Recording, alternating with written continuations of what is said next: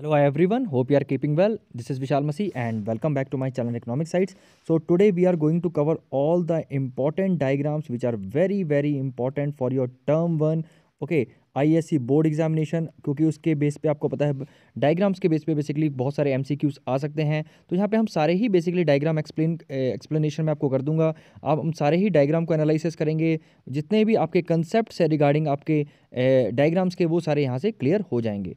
तो चलिए स्टार्ट करते हैं। मेरा जो पहला डायग्राम है that is a relationship between income and demand ठीक है? कि हमारी जो इनकम और डिमांड की रिलेशनशिप क्या होती है? देखिए आपकी इनकम और डिमांड की रिलेशनशिप डिपेंड करता है कि आप कौन सा गुड यूज़ कर रहे हैं। क्या आप एक इनएक्सपेंसिव गुड यूज़ कर रहे हैं, जिसे हम आई से डिनोट करते हैं? क्या आप एक नॉर्मल गुड यूज़ कर रहे हैं, जिसे हम एन जी से डिनोट कर रहे हैं इधर? और क्या, या आप क्या कर रहे हैं, एक इन्फीरियर गुड यूज़ कर रहे हैं, जिसे हम आई जी से शो कर रहे हैं। तो सबसे पहले बात कर ले हम इनएक्सपेंसिव इनएक्सपेंसिव गुड कौन से होते हैं? जैसे आपके सॉल्ट हो गया, ठीक है? सॉल्ट हो गया मैच बॉक्स हो गया। तो इनका जो बेसिकली क्या होता है आपकी इनकम जितनी भी हो, ठीक है, इनके केस में, आपके इनएक्सपेंसिव के केस में, आपकी इनकम जितनी भी हो डिमांड आपकी सेम की सेम ही रहती है। मान लीजिए आपकी इनकम वाई वन है, तब भी डिमांड आपकी इतनी रहेगी, ठीक है, आपकी इनकम वाई टू पहुँच गई, इतनी बड़ी इंक्रीज़ हो गई, फिर भी आपकी इतनी रहेगी, ठीक है, अगर आपकी इन इनकम वाई टू पे पहुँच गई और इंक्रीज़ हो गई, फिर भी आपकी जो बेसिकली डिमांड है, आपकी क्यू टू पे ही रहेगी। क्लियर तो बेसिकली आपको ये ध्यान में रखना है कि जो इनएक्सपेंसिव गुड्स होते हैं, इनकी डिमांड जो है कांस्टेंट रहती है इवन इफ़ इनकम जो हमारी कम या ज़्यादा हो इनकम भले बढ़े या कम हो इसकी जो डिमांड है वो कांस्टेंट ही रहेगी, इसलिए इसका जो डायग्राम है, आपको स्ट्रेट लाइन में शो हुआ है हुआ है। तो अगर सब अलग से शो करना चाहेंगे तो इसका डायग्राम कुछ ऐसा बनेगा, ये एक्स एक्सिस होगी, ऊपर वाई एक्सिस होगी, ठीक है, यहाँ पे आपका बेसिकली इनकम शो होगी इससे इस साइड और इस साइड आपका क्वांटिटी डिमांड शो होगी, ठीक है? तो आपकी ये स्ट्रेट लाइन से ऐसे शो होगा। क्लियर हो गया? दूसरा हमारा है नॉर्मल गुड देखिए नॉर्मल गुड कौन से होते हैं? नॉर्मल गुड होते हैं जिनका अगर इनकम बढ़ती है तो आपके डिमांड भी बढ़ती है। ठीक है? और अगर इनकम कम होती है तो डिमांड भी कम हो जाती है। वो होते हैं हमारे नॉर्मल गुड्स ठीक है? तो उसका ग्राफ हर समय आपको पता है इकोनॉमिक्स में जिसका जो रिलेशन पॉजिटिव होता है मतलब बढ़ने के साथ बढ़ता है, दोनों वेरिएबल बढ़ते हैं और दोनों वेरिएबल का, एक के कम होने से दूसरा भी कम होता है तो उसका ग्राफ हर समय आपको पॉजिटिव स्लोप मिलेगा, ठीक है? या तो वो इंक्रीज डिक्रीजिंग रेट पे पॉजिटिव मतलब डिक्रीजिंग रेट पे बढ़ सकता है या इंक्रीजिंग रेट पे बढ़ सकता है। तो यहाँ पे नॉर्मल गुड उन्होंने दोनों ही केसेस दे रखे हैं कि जब वो डिक्रीजिंग रेट पे बढ़े ठीक है? मतलब इंक्रीज तो होंगे ही होंगे। इनकम बढ़ने से जैसे जैसे आपकी इनकम ऊपर राइस होगी, आपकी क्या है? क्वांटिटी डिमांड भी राइस हो रही है। तो नॉर्मल गुड में दोनों ही इन्होंने बेसिकली दोनों ही डायग्राम एक नॉर्मल गुड को शो कर रहे हैं। ठीक है? कंफ्यूज मत हुएगा ये बेसिकली दोनों ही डायग्राम आपके नॉर्मल गुड को शो कर रहे हैं, जो ऊपर वाला है आपका डिक्रीजिंग रेट से बढ़ रहा है और नीचे वाला आपका इंक्रीजिंग रेट से बढ़ रहा है। ठीक है? मतलब डिमांड जो है आपकी इनकम बढ़ने के साथ या तो वो थोड़े धीरे से बढ़ेगी या हो सकता है वो बहुत ही बहुत ज़्यादा इंक्रीजिंग रेट पे बढ़े। ठीक है? तो I hope I am very very clear तो ये दोनों बेसिकली डायग्राम आपके किसके हैं? नॉर्मल गुड के हैं। ओके नेक्स्ट है आपका that is a inferior good sorry that is a inferior good yes तो इन्फीरियर गुड बेसिकली कौन से होते हैं? इन्फीरियर गुड वो होते हैं जैसे अब इनकम आपकी मान लीजिए बढ़ जाती है तो डिमांड उसकी कम हो जाती है तो नेगेटिव रिलेशनशिप है। तो नेगेटिव रिलेशनशिप का जो ग्राफ है, इन्होंने बैकवर्ड स्लोपिंग से रखा है। ठीक है, ये बैकवर्ड स्लोपिंग है। अगर आप कोई भी ग्राफ ऐसे बनता है तो this is a backward sloping graph ठीक है तो जो डिमांड है आपकी बेसिकली डिमांड है आपकी जो इन्फीरियर गुड्स की इनकम के साथ क्या होती है? कम होती है। तभी क्या है, आपकी बेसिकली अगर बढ़ती इनकम के साथ कम होती है, इसलिए इसका बैकवर्ड स्लोपिंग ग्राफ है। ठीक है? अब आप बोलेंगे कि, सर, इसका बैकवर्ड स्लोपिंग का क्या मतलब है? देखिए, इसका मतलब ये है कि मान लीजिए पहले आपकी इनकम इतनी थी तो डिमांड आपकी इतनी थी।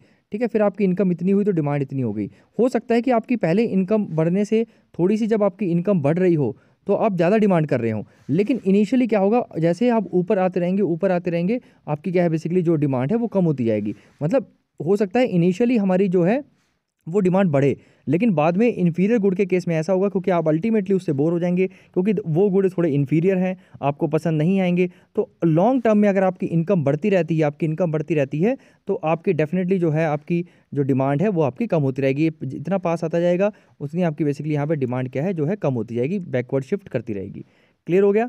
ठीक है I hope it is very very clear चलिए तो नेक्स्ट डायग्राम है आपका तो ये डायग्राम आपको क्लियर हो गया होगा अच्छे से। नेक्स्ट डायग्राम आपका है that is a case of substitute goods ठीक है? That is a case of substitute good तो बेसिकली सब्सिट्यूट गुड इसका एग्ज़ाम्पल दे रखा है इन्होंने। Demand for tea and coffee basically tea और कॉफ़ी क्या है? बेसिकली क्या है आपके? सब्सिट्यूट गुड है। सब्सटीट्यूट गुड का मतलब होता है कि अगर मान लीजिए टी अवेलेबल नहीं है ठीक है तो आप कॉफ़ी से काम चला लेंगे। या अगर कॉफ़ी अवेलेबल नहीं है तो आप टी से काम चला लेंगे। तो होगा क्या? मान लीजिए टी का प्राइस बढ़ रहा है। मान लीजिए आप कॉफ़ी ले ली, कॉफ़ी लिया इन्होंने। मान लीजिए कॉफ़ी का प्राइस बढ़ रहा है, कॉफ़ी का प्राइस ऊपर चला गया तो डिमांड ऑफ़ द टी क्या होगी? बढ़ जाएगी। मतलब इसके प्राइस बढ़ने से इसकी डिमांड जो है बढ़ रही है। तो बेसिकली इसका प्राइस बढ़ रहा है कॉफ़ी का तो डिमांड किसकी बढ़ रही है? टी की बढ़ रही है। मैंने इकोनॉमिक्स में जब भी बताया था, जब भी आपकी एरोस सेम जगह होंगे मतलब दोनों की रिलेशन पॉजिटिव होगी तो हर समय जो ग्राफ है वो अपवर्ड स्लोपिंग होता है। तो ऑब्वियसली बात है यहाँ पे ग्राफ भी क्या होगा आपका? अपवर्ड स्लोपिंग हो जाएगा। ठीक है? तो I hope I am very very clear till here चलिए नेक्स्ट दैट इज़ अ सब कॉम्प्लीमेंट्री गुड कॉम्प्लीमेंट्री गुड्स होते हैं जो एक साथ डिमांड किए जैसे जैसे पेट्रोल और कार ओके अगर पेट्रोल नहीं है तो कार नहीं होगी, अगर कार है तो पेट्रोल का यूज़ नहीं ओके बेसिकली अब कहने का मतलब है अगर इन दोनों का केस लिया जाए तो दोनों ही ज़रूरी हैं। ठीक है? तो अगर मान लीजिए, पहले जो प्राइस इतना था पेट्रोल का तो डिमांड इतनी थी, ठीक है? क्योंकि ये देखिए, यहाँ पे इसको यहाँ पे ज्वाइन ऐसे कर रहा है, ठीक है? जैसे ही प्राइस पेट्रोल का ऊपर बढ़ा, इसकी क्या है डिमांड पीछे हो गई मतलब कम हो गई। तो डेफिनेटली जब एक चीज़ बढ़ती है, दूसरी चीज़ आपकी कम होती है तो क्या होता है, आपकी जो ग्राफ है, वो डाउनवर्ड स्लोपिंग होता है। देखिए ग्राफ डाउनवर्ड स्लोपिंग है। ठीक है? तो एक चीज़ बढ़ रही है, दूसरी चीज़ कम हो रही है। बेसिकली जब नेगेटिव रिलेशनशिप है तो क्या होगा? आपका जो बेसिकली ग्राफ है, वो नीचे डाउनवर्ड स्लोपिंग आएगा। इसलिए इसका डाउनवर्ड स्लोपिंग है। ठीक है तो कह सकते हैं कॉम्प्ली कॉम्प्लीमेंट्री गुड्स में बेसिकली नेगेटिव रिलेशनशिप होती है तो एमसीक्यू आ सकता है कि कौन से गुड्स में बेसिकली नेगेटिव रिलेशनशिप है, उसके प्राइस और डिमांड में तो आप बोलेंगे कॉम्प्लीमेंट्री गुड में, और आप अगर सब्सिट्यूट गुड में आता है तो आप बोलेंगे कि इसका क्या है पॉजिटिव रिलेशनशिप है price of one good with demand of others and it is graph is upward upward sloping always ठीक है। चलिए next that is a very simple that is law of demand I hope आपको ये सब clear होगा। ठीक है law of demand very simple है कि किसी भी गुड का जब प्राइस बढ़ता है तो उसकी क्वांटिटी डिमांड फॉल हो जाती है और जब प्राइस कम हो जाता है तो उसकी क्वांटिटी डिमांड बढ़ जाती है। तो बेसिकली इसमें भी देख रहे हैं आप नेगेटिव रिलेशनशिप है एक चीज़ बढ़ रही है, दूसरी चीज़ कम हो रही है तो उसका भी ग्राफ क्या है? हंड्रेड क्या होगा? डाउनवर्ड स्लोपिंग होगा। तो देखिए, यहाँ पर डाउनवर्ड स्लोपिंग आपका है। ठीक है डिमांड कब है? जो आपका डिमांड डाउनवर्ड स्लोपिंग है। और दूसरी बात है, देखिए, जब आपका प्राइस हंड्रेड था तो डिमांड कितनी थी आपकी? वन थी। जब प्राइस कम हो गया तो डिमांड कितनी होगी? फोर होगी। लेट सपोज़ वापस प्राइस जब वन हो जाएगा तो डिमांड फिर से क्या हो जाएगी आपकी? मान लो प्राइस हंड्रेड पहुँच गया तो डिमांड फिर से वापस आपकी वन पे पहुँच जाएगी। तो कहने का मतलब है कि जब प्राइस बढ़ता है तो क्वांटिटी डिमांड कम होती है और जब प्राइस फॉल हो जाता है तो क्वांटिटी डिमांड बढ़ जाती है। तो वेरी सिंपल आपको I hope it is very very clear बहुत सिंपल है ये तो। ओके नेक्स्ट है देखिए पॉजिटिव्स कई बार क्या होता है डिमांड का पॉजिटिव भी होता है। तो पॉजिटिव स्लोपिंग डिमांड का मतलब अपवर्ड स्लोपिंग ये किस केस में होगा? जैसे मान लीजिए गिफन गुड्स हो गए आपके, ठीक है? आर्टिकल्स ऑफ़ स्नॉप डील के हो गए हैं ठीक है? जो स्नॉप डील के आर्टिकल्स होते हैं मतलब बहुत ही जो महँगे आर्टिकल्स होते हैं, ठीक है? रेयर होते हैं। दूसरी बात है, एक होता है आपका स्टेटस सिंबल से रिलेटेड है। ओके स्टेटस सिंबल आपको लगता है कि महँगी चीज़ ही ज़्यादा प्रेफर करनी चाहिए या महँगी चीज़ से आपका स्टेटस सिंबल बढ़ रहा है तो आपका उससे फिर प्राइस से मतलब नहीं कर प्राइस और महँगा होगा तो और उसकी डिमांड बढ़ेगी। क्यों? क्योंकि वो स्टेटस सिंबल शो करेगा। दूसरी बात है स्नॉप डील्स है रेयर आइटम्स हैं तो रेयर आइटम्स का मोनली मेनली क्या होता है, जो प्राइस हाई पे है, उसकी डिमांड हाई ही रहती है। और गिफन गुड्स के केस में आपको पता ही है कि जब क्या होगा प्राइस आपका हाई होगा तो क्वांटिटी डिमांड भी उसकी हाई रहेगी। तो ये आपका बेसिकली क्या होगा पॉजिटिव स्लोप आपका होगा डिमांड का। ठीक है, ये केसेस में आपका पॉजिटिव डिमांड कब होता है? नेक्स्ट है that is a movement along the demand कब देखिए मूवमेंट अलॉन्ग द डिमांड का मतलब होता है जब प्राइस की चेंज होने की वजह से जो क्वांटिटी डिमांड में बेसिकली आपके फ़र्क पड़ता है या चेंज होती है, ठीक है? तो मान लीजिए, पहले ये आपकी पी वन थी तो इतनी थी।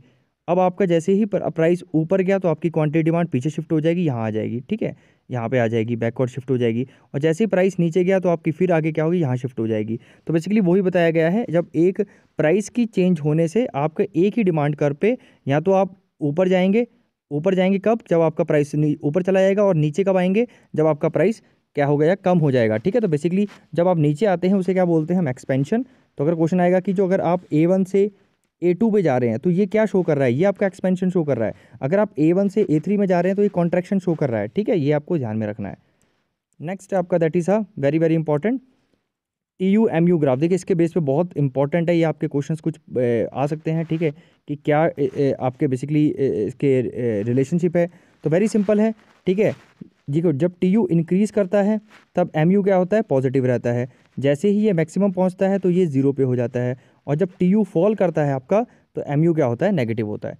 ठीक है? ध्यान रखना वेरी वेरी सिंपल कि जब टी यू इंक्रीज़ कर सकता इंक्रीज़ करता है तो ये पॉजिटिव रहता है। ये ग्रेटर देन ज़ीरो रहता है। जैसे ही टी यू मैक्सिमम होता है टी यू मैक्सिमम पहुँच गया एम यू आपका ज़ीरो हो जाएगा। और जैसे ही टी यू फॉल करता है तो एम यू आपका नेगेटिव हो जाता है। ठीक है? ये तीन चीज़ें आपको ध्यान में रखनी है।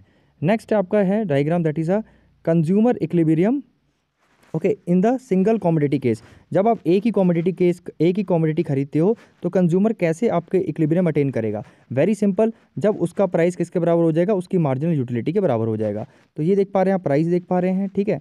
ये आपकी है मार्जिनल यूटिलिटी तो यहाँ पे स्ट्राइक कर रहा है तो ये इक्लिबेरियम पॉइंट आएगा। तो मान लीजिए आपका क्वेश्चन अगर आप, आपका क्वेश्चन आपको दे दे दिया जाता है, एक डायग्राम दे दिया जाता है, जिसमें आपका ये प्राइस हो गया, ये आपका एमयू हो गया ठीक है? तो ये पूछ लेगा कि आपका कौन से पॉइंट पे बेसिकली आपका इक्लिबेरियम होगा? तो वेरी सिंपल जहाँ पे दो, दोनों स्ट्राइक करेंगे। यहाँ आप कह सकते हो जहाँ पे प्राइस और मार्जिनल यूटिलिटी इस पॉइंट पे इक्वल हो जाएगी। तो आपकी जो थ्री है वो आपका बेसिकली क्या हो जाएगा? इक्लिबेरियम क्वांटिटी हो जाएगी और ये हमारा इक्लिबेरियम प्राइस हो जाएगा। ठीक है? I hope I am very very clear चलिए। Next that is indifference curve देखिए इंडिफरेंस कर्व क्या होता है? ये आपका डाउनवर्ड स्लोपिंग होता है। ठीक है? ध्यान ध्यान रखिएगा। Okay from left to right दूसरी बात है। कि ये क्या होता है? कॉम्बिनेशन ऑफ़ टू गुड होता है। देखिए, यहाँ पे क्लोथिंग है और आपका यूनिट्स ऑफ़ फ़ूड है। तो बेसिकली ये कॉम्बिनेशन है क्लोथ्स के और फ़ूड के। मतलब ये ए पॉइंट क्या शो कर रहा है? मतलब आप कुछ टेन यूनिट्स आप किसके क्लोथिंग के ले रहे हैं और वन यूनिट आपके किसके ले रहे हैं? फ़ूड के ले रहे हैं। तो आपका ये टेन और वन हो गया। ऐसे जो बी है, वो क्या शो कर रहा है? सेवन इसके ले रहे हैं आप, ठीक है? और ये जो है टू इसके ले रहे हैं। और एक बात ध्यान रखिएगा, जितने भी पॉइंट्स हैं ओके जितने भी पॉइंट्स हैं बेसिकली ये ए बी सी और डी ये सेम सेटिस्फैक्शन शो कर देते हैं, ठीक है? It provide the same satisfaction to the consumer okay तो अगर क्वेश्चन आता है कि इसमें सबसे ज़्यादा सेटिस्फैक्शन कौन सा प्रोवाइड कर रहा है तो आप बोलेंगे all the points are giving the equal satisfaction to the consumer लेकिन हाँ दो, इसमें जो कॉम्बिनेशन अलग अलग हैं, इसमें जैसे टेन और वन का कॉम्बिनेशन मैंने बताया था आपको ठीक है? इसमें आपका बेसिकली क्या है? सेवन और टू का कॉम्बिनेशन है। देखिए, यहाँ पे सेवन है और यहाँ पे टू है। ऐसी सी पॉइंट पे क्या है? फाइव और थ्री का कॉम्बिनेशन है। ठीक है? ओके, और डी पे आपका फोर और फोर का कॉम्बिनेशन है। ठीक है? अलग अलग कॉम्बिनेशन है, लेकिन सेटिस्फेक्शन क्या है? सेम है सबका। तो बेसिकली यही होता है इंडिफरेंस का नेक्स्ट आपका इंडिफरेंस मैप देखिए इंडिफरेंस मैप बहुत सिंपल है। ठीक है? इंडिफरेंस मैप में क्या है? बेसिकली आपको ध्यान में रखना है कि indifference map is a collection of indifference curve तो देखिए यहाँ पे एक indifference curve two indifference curve third indifference curve four तो टोटल आपको यहाँ पे कितने हैं? फोर इंडिफरेंस कर्व है। तो जब एक से ज़्यादा होगा तो डेफिनेटली वो क्या होगा? आपका इंडिफरेंस मैप होगा। क्लियर तो इंडिफरेंस मैप क्या है? Simply a collection of indifference curves ठीक है? और बजट लाइन अब देखिए आ जाते हैं बजट लाइन तो बजट लाइन भी क्या होता है? कॉम्बिनेशन ऑफ़ टू गुड्स होता है, जो कंज्यूमर जिसके बजट में होता है या कंज्यूमर जिसको अफोर्ड कर सकता है अपनी गिवन इनकम के साथ। ध्यान रखिएगा, ऊपर वाला इंडिफरेंस कब क्या शो करता था? सेम सेटिस्फेक्शन शो करता था, है ना? ये क्या शो करता है कि जो कंज्यूमर खरीद सकता है कंज्यूमर की जो परचेसिंग एबिलिटी है। तो ध्यान रखिए, यहाँ पे ये सारे पॉइंट्स क्या है? कंज्यूमर खरीद सकता है। अब ये अलग अलग कॉम्बिनेशन है, दोनों गुड्स के इन सब पे, ठीक है? जो पहला है आपका दैट इज़ योर फाइव और ज़ीरो मतलब सिर्फ़ आप क्या खरीद रहे हैं? सिर्फ़ क्लोथ्स ही ले रहे हैं और यहाँ पे फ़ूड कोई भी ले नहीं रहे। दूसरा पॉइंट है आपका देखिए यहाँ से ज्वाइन कर देंगे, आप ज्वाइन कर सकते हैं ऐसे। तो आपका फोर और टू मतलब फोर यूनिट्स आप किसके ले रहे हैं? क्लोथिंग के ले रहे हैं टू यूनिट्स आप किसके ले रहे हैं? आप फ़ूड के ले रहे हैं। ऐसे ही आप इसको भी ज्वाइन करके इसके पॉइंट्स निकाल लेंगे, इसके भी निकाल लेंगे, इसके भी निकाल लेंगे, इस पर भी निकाल लेंगे। इस पर बेसिकली क्या हो जाएगा आपका? इसकी, इस पर हो जाएगा ज़ीरो फाइव आपका, और इस पर हो जाएगा आपका टेन ज़ीरो मतलब आप सिर्फ़ और सिर्फ़ क्या ले रहे हैं यहाँ पे? यहाँ पे इस, ये दोनों जो एक्सट्रीम पॉइंट है, यहाँ पे सिर्फ़ आप क्लोथ ले रहे हैं और यहाँ पे सिर्फ़ आप फ़ूड ले रहे हैं। ठीक है ten units of food and here you are taking five units of clothing तो यहाँ पे अलग अलग कॉम्बिनेशन आपको देखने को मिल रहे हैं, ठीक है? देख, फिर से बता रहा हूँ, एक ये कॉम्बिनेशन ये कॉम्बिनेशन ये कॉम्बिनेशन ये कॉम्बिनेशन ये कॉम्बिनेशन ये combination so these are different combination which a consumer can buy given is income okay of the two goods of two different goods के डिफरेंट कॉम्बिनेशन है जो कंज्यूमर खरीद सकता है अपनी गिवन इनकम के साथ. तो ये होती है हमारी बजट लाइन और ये स्ट्रेट लाइन होती है, ठीक है? It is a straight line क्योंकि हमारी जो इनकम है वो कांस्टेंट है, क्योंकि हर किसी में जो कॉम्बिनेशन इनकम इस पर भी इतनी इनकम लगेगी, इस पर भी इतनी इनकम लगेगी, इस पर भी इनकम इनकम उसकी सेम ही रहेगी और वो सारी यूज़ करेगा तो इसके लिए आप, इसके लिए, इसकी वजह से इसकी जो लाइन है वो स्ट्रेट होती है। ओके नेक्स्ट है कंज्यूमर इक्लिबियम इंडिफरेंस कर्व के केस में वेरी सिंपल ये आपका क्या है बजट लाइन है, ठीक है? और जहाँ पे जो आईसी कर्व है, आपका ये जो आईसी कर्व है, जहाँ पे टेंजेंट होगा, यहाँ पे टेंजेंट है तो ये हमारा इक्लिबियम पॉइंट होगा। मतलब जहाँ पे जो बजट लाइन ये जो बजट लाइन है आपको, ये के जो आप बजट लाइन दे रखी है आपकी के ठीक है? ये जब आई सी टू यहाँ पर देखिए, बिल्कुल टेंजेंट है इसके।